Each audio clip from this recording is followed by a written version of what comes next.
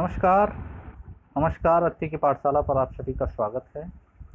हम डिस्कशन कर रहे थे कंजर्वेशन ऑफ़ रिसोर्स पर, यानी हम किस किस तरह रिसोर्स को कंजर्व कर सकते हैं, संरक्षित कर सकते हैं।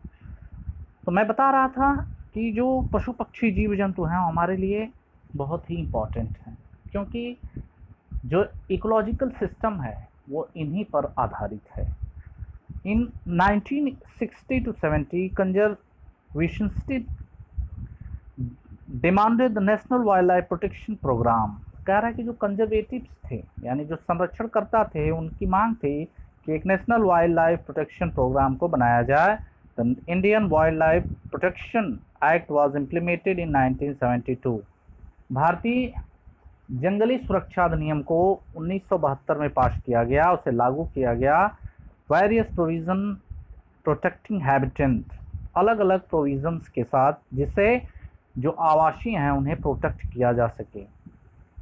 And all in realist and all public trust program was toward the protection remaining the population certain endangered species by banning hunting giving legal protection to their habitant and restriction trade of wild life उनमें programme के तहत उन्हें सुरक्षा दी गई उन लोगों, उन जीव जंतुओं को जो समाप्ति के कगार पे हैं, जो इंडेंजर्ड स्पीसीज में हैं, शिकार को इलीगल कर दिया गया और जंगली जानवरों के व्यापार पर रोक लगा दी गई।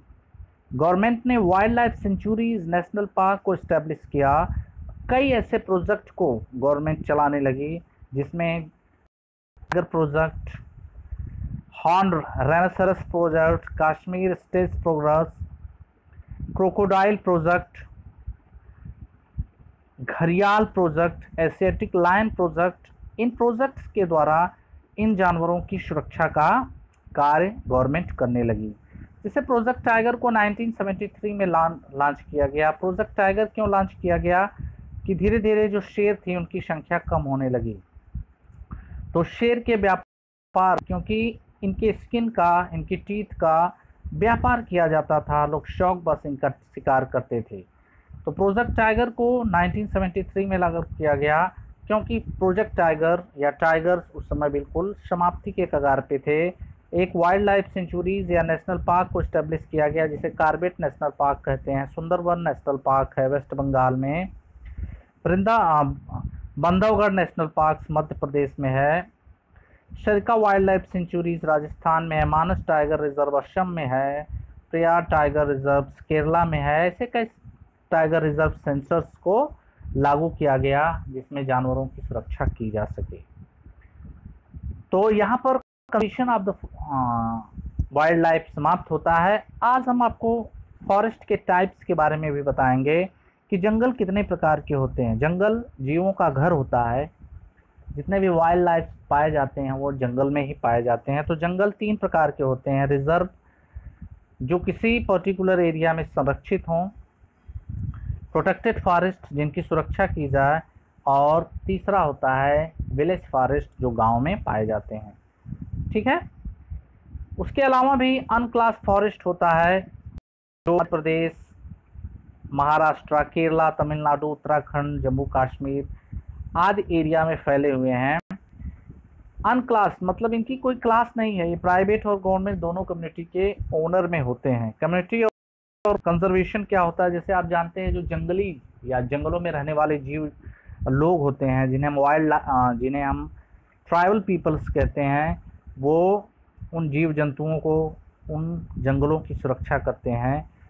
अगर हम राजस्थान के अलवर डिस्ट्रिक्ट की बात करें तो लगभग 1200 हेक्टेयर जो जंगल है वहाँ पर सोन चिरई नाम का जंगल है। ब्रेदेव देवशुभ सोन चिरई नाम का जंगल है, जहाँ पर रूल एंड रेगुलेशन जो है, वो ट्राइबल पीपल के द्वारा बनाया गया है। इसके अलावा चिपको गया था। चिपको मूवमेंट किसके द्वारा चलाया गया था? आप सभी लोग जानते हैं कि जो चिपको मूवमेंट्स है, था, वो हिमालय में चलाया गया था। और इसमें क्या किया गया था? जो फार्मर्स थे, बेटी बचाओ आंदोलन है। ये तेहरी में चलाया गया। तो कहने का मतलब है, इस तरह के जो आंदोलन थे उसे चलाकर जंगलों की सुरक्षा की गई। वैसे ये जो चैप्टर है, फॉरेस्ट एंड वाइल्ड लाइफ ये आपके प्रैक्टिकल बेस्ड चैप्टर है। मतलब आपको इसमें से प्रश्न आएँगे, लेकिन वो थ्योरेटिकल प्रश्न नहीं रहेंगे प्रैक्टिकल बेस रहेंगे। आपको जानकारी के लिए इसमें से इंपॉर्टेंट चीज़ें आपको मैंने बता दी, और इस चैप्टर्स में आपको कुछ नहीं है। इसका पीडीएफ आप लोगों को बहुत जल्द ही प्रोवाइड कर दिया जाएगा हमारे चैनल पर। मैं बहुत जल्द इसका पीडीएफ आप लोगों के लिए लिंक इस चैनल पर दे दूँगा। आप लोग वहाँ से पीडीएफ डाउनलोड करके पढ़ लीजिएगा। चैनल पर नए हो तो चैनल को सब्सक्राइब कर लीजिए, वीडियो को लाइक करिए। अच्छा लगा तो लाइक करिए अच्छा नहीं लगा तो डिसलाइक करिए और अपने कमेंट हमें ज़रूर दें। तब तक के लिए खुश रहिए, मस्त रहिए।